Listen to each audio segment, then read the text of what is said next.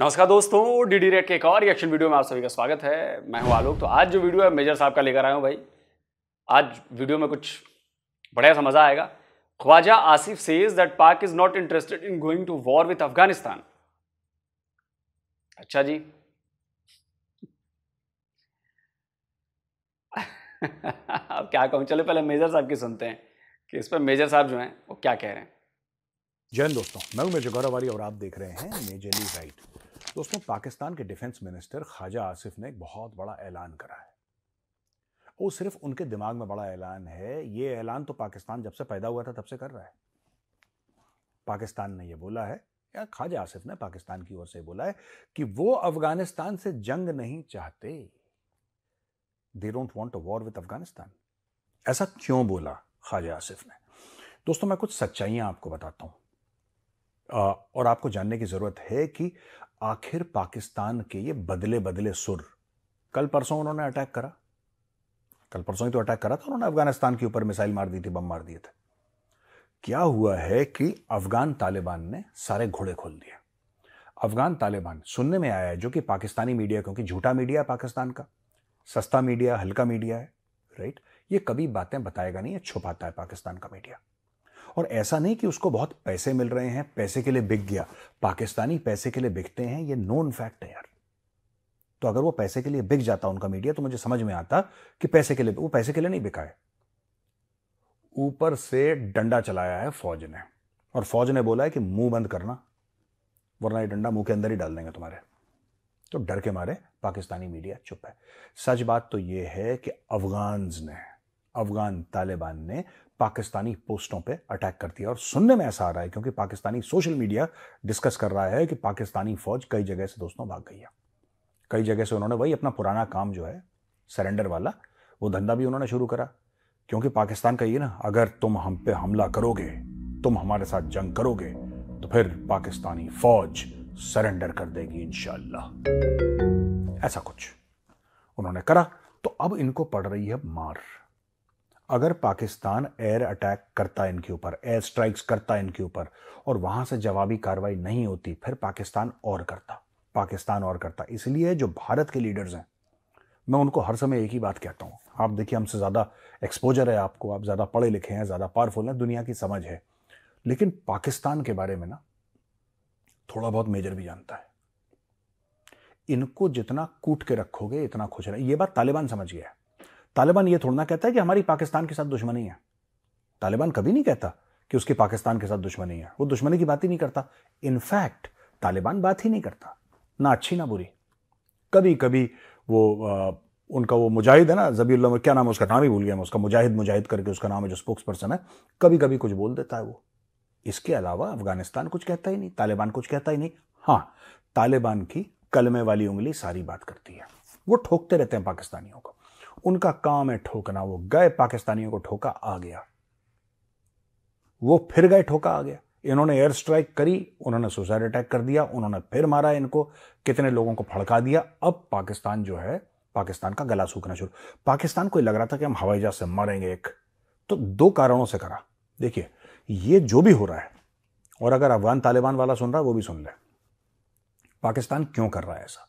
और पाकिस्तान आपके ऊपर जवाबी कार्रवाई क्यों नहीं कर रहा? एक तो इनके पास पैसे नहीं है। दूसरा इनके पास कलेजा नहीं है दम नहीं है हिम्मत नहीं है पाकिस्तानियों में।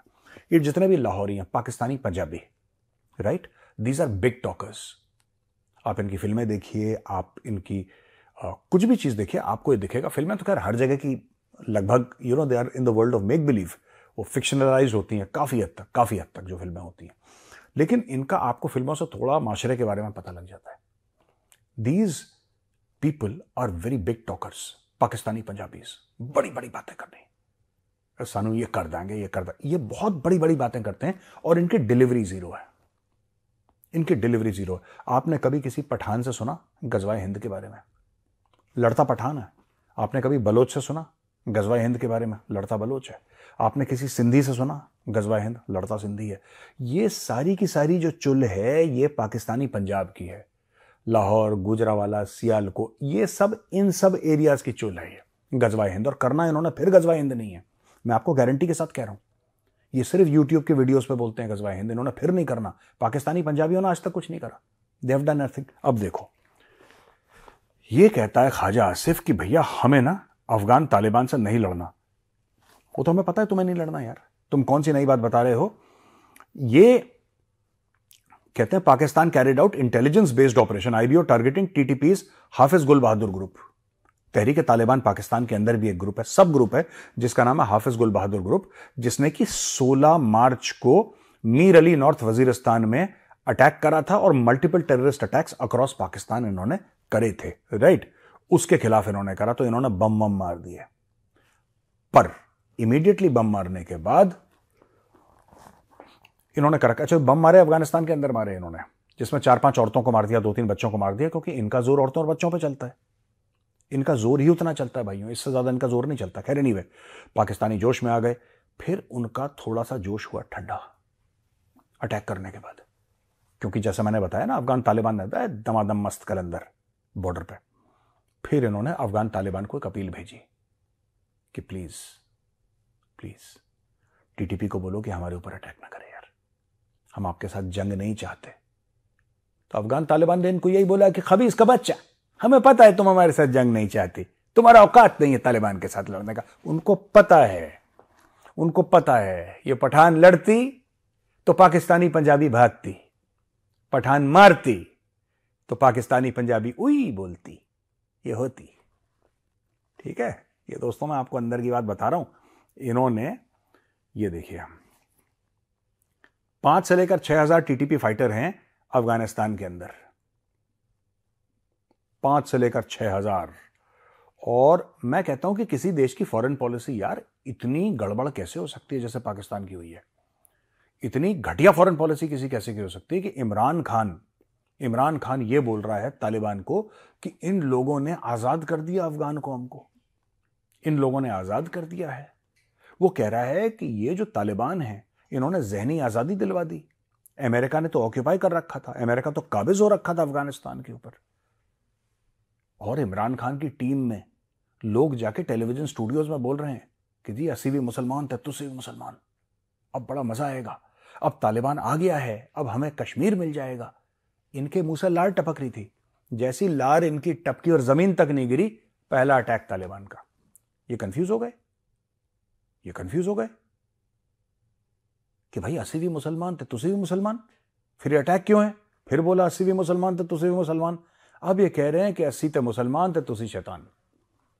ये स्टोरी सुना रहे हैं तालिबान को कि अब तालिबान बुरे हैं। जो गुड तालिबान और बैड तालिबान की बात है ना दोस्तों, ये जो हाफिज गुल बहादुर ग्रुप के बारे में बात करी थी मैंने, ये जो हाफिज गुल बहादुर ग्रुप है, ये मैं आपको बताता हूँ, ये पहले गुड तालिबान का हिस्सा था। ये गुड तालिबान का हिस्सा था और इसकी जो जड़ें हैं वो मौलाना फजल रहमान से जुड़ती हैं। जमातुल इस्लाम, पाकिस्तान। फजल रहमान फैक्शन ना एफ़ लिखते हैं क्या वो ब्रैकेट में फजल रहमान फैक्शन उसके साथ इनकी आ, वो यू नो इनके इनके इनके ताने बाने जुड़े हुए हैं। ये मदा खेल क्लैन का है उथमाजाई वज़ीर ट्राइब का और पीस अग्रीमेंट इसने 2006 में साइन करी थी पाकिस्तान के साथ। 2006 में इस हाफिज गुल बहादुर ने। उसके बाद इसने बोला कि जाओ यार ये अच्छे लोग हैं घटिया सी कैटेगरी के बी ग्रेड लोग हैं उसने बोला मारो इनको। तो अब इनको ये जो गुड तालिबान, बैड तालिबान का कंसेप्ट है ना, यही चीज़ हिलेरी क्लिंटन ने पाकिस्तान में आके पाकिस्तान को समझाई थी स्नेक्स इन योर बैकयार्ड। यही बोलती है वो snakes in your backyard. Hillary Clinton कहती है कि अगर तुम अपने घर के पीछे सांप पालोगे और तुम ये सोचोगे कि वो सांप सिर्फ़ तुम्हारे दुश्मन को काटे तो बेटा जी ऐसा होगा नहीं, वो सांप तुम्हें भी काटेगा, क्योंकि सांप की फितरत है काटना। ये हिलेरी क्लिंटन पाकिस्तान आई थी और पाकिस्तान आके इन सब के जर्नलिस्ट के सामने उसने स्टोरी सुनाई इनको एक सांप वाली कहानी कि बेटा बहुत पहले की बात है, एक सांप था और उसने काट लिया। उसने पूरी स्टोरी समझाई, स्नेक्स इन योर बैकयार्ड की आप पढ़िएगा इंटरनेट पे, आपको मज़ा आ जाएगा। आप वीडियो देखिए यूट्यूब पे, आपको पता लग जाएगा स्नेक्स इन योर बैकयार्ड वाला। लेकिन पाकिस्तानी नहीं माने। पाकिस्तानी ये पता है, ये ओवर स्मार्ट कौम है। खास तौर से लाहौरी जो है ना, ये ओवर स्मार्ट बनते हैं और फिर इनको जूते पड़ते हैं। इनको ऐसा लगा कि तालिबान के साथ भी खेलेंगे, अमेरिका से पैसे ले लेंगे। अमेरिका के साथ खेलेंगे, तालिबान के ठिकानों के बारे में इंफॉर्मेशन दे देंगे, अमेरिका बम मार देगा। इन्होंने दोनों से फ़ायदे लिए। अमेरिका से पैसा लिया, उनसे पॉलिटिकल पावर लेने की कोशिश करी और अफ़गानिस्तान को अपना पांचवा सूबा बनाने की कोशिश करी। तालिबान को ऑल थ्रू आउट पता था। तालिबान को ऑल थ्रू आउट पता था कि पाकिस्तान गेम क्या खेल रहा है। तालिबान चुप रहा चुप रहा चुप रहा। बीस साल उसने ऐसे ही काटे, गुफाओं में, जंगलों में घूम घूम के उसने बीस साल काटे। जब तालिबान को यह पता लग गया कि दोहा अग्रीमेंट साइन हो गई है और अब ये अमेरिकन ट्रूप्स ये जा रहे हैं, जब उसको क्लियर हो गया, जब उसको पता लग गया कि क्लैरिटी है इसमें, ये लोग जा रहे हैं, तब उन्होंने बोला कि बेटा, अब असली बात सुनो। अस्सी थे मुसलमान तो पाकिस्तानी शैतान। तो दोस्तों वीडियो हो गया ख़त्म और बातें आपने सुन ली। देखिए, मेरा भी यही कहना है, मेरी एनालिसिस भी ये कहती है। मैंने भी करीब चार छः महीने पहले ही बात कही थी कि जब पहली बार क्लैशेज हुए थे डूरन लाइन पर और कहा गया था तालिबान की तरफ़ से कि भाई हम डूरन लाइन को नहीं मानते हैं, ये तो उनके मिनिस्टर का बयान है। उन्होंने कहा कि हम कोई डूरन लाइन को नहीं मानते मानते हैं और डूरन लाइन जो है वो पाकिस्तान और अफ़गानिस्तान के बीच की परमानेंट लाइन नहीं है कोई। कोई हम उस बॉर्डर को मानते ही नहीं है। उन्होंने डिनाई कर दिया। तो इससे आपको अंदाज़ा लग जाना चाहिए, जो पाकिस्तान के थिंक टैंक है जो पाकिस्तान में लोग रहते हैं, उनको इस बात का अंदाज़ा लग जाना चाहिए कि अगर तालिबान के मंत्री मिनिस्टर का ये कहना है कि जी वो डूरन लाइन को परमानेंट बॉर्डर नहीं मानते हैं, वो मानते ही नहीं डूरन लाइन को। इसका मतलब है कि कॉन्फ्लिक्ट बढ़ने वाले हैं। लेकिन आप लोग सोचते नहीं ना, उतनी दूर तक आप लोग की सोच नहीं जाती है। तो मैंने चार छः महीने पहले कहा था कि जब पहली बार जब स्क्रिमिश टाइप की चीज़ हुई थी और पहली बार लड़ाई झगड़ा हुआ था बॉर्डर पे तो मैंने कहा था, देखिएगा, ये स्केलेट करेगा। ये स्केलेट करेगा।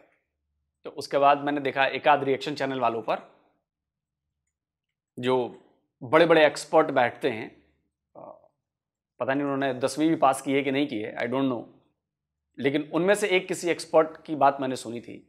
उसने कहा, नहीं नहीं, मौलाना फजलुर रहमान गया था और बातचीत हो गई है और सब सेट है मामला, अब देखना कुछ नहीं होगा।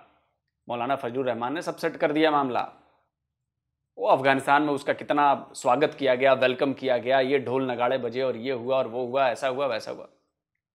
तो किसी ने मुझे क्लिप भेजी तो मैंने उसको जवाब दे के कहा था कि भाई, अब क्या कहें, ये दसवीं पास हैं कि नहीं है, ये ग्रेजुएट भी हैं कि नहीं है? इनकी वहाँ तक समझ है कि नहीं है, लेकिन मेरी समझ ये कहती है कि अफ़गानिस्तान तो ठोकेगा भाई, और आने वाले दिनों में, कुछ महीनों में आप देखेंगे कि ये मामला बढ़ेगा या ठंडा नहीं होगा। और देखिए वही हुआ। हुआ कि नहीं हुआ? और मैं फिर कह रहा हूँ तालिबान की मूवमेंट शुरू हो चुकी है बहुत बड़ी बॉर्डर पर। मैंने कुछ दिनों पहले आपको बोल रहा था कि हैवी मशीनरी उन्होंने डाल दी हैवी मशीनरी का मतलब होता है कि रॉकेट लॉन्चर्स ला दिए। रॉकेट लॉन्चर्स तो वो मल्टी बैरल रॉकेट लॉन्चर्स होते हैं। बड़े बड़े तोप होते हैं, उनको हैवी मशीनरी कहते हैं। वो लाकर वहाँ पे डिप्यूट कर दिए हैं और उनको सेट कर दिया है। और उनसे वो बड़ा हमला करेंगे। अभी हो सकता है कि फिर थोड़ी बहुत बातचीत हुई होगी, अरे यार मान जाओ मान जाओ हो जाएगा।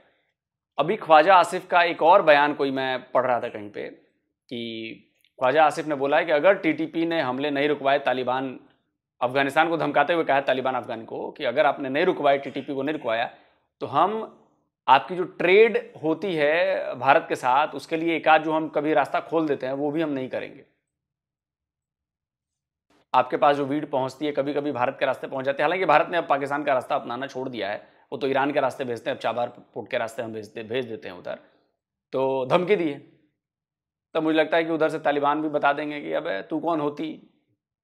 चल तो निकल पतली गली से। तो मेरी एनालिसिस भी यही कहती है कि आने वाले वक्त में आप फिर से खबरें सुनेंगे, फिर से अफ़गानिस्तान पाकिस्तान की फौजें टकराएँगी, आप ये देखिएगा, और इस बार पाकिस्तान को बड़ा नुकसान होगा।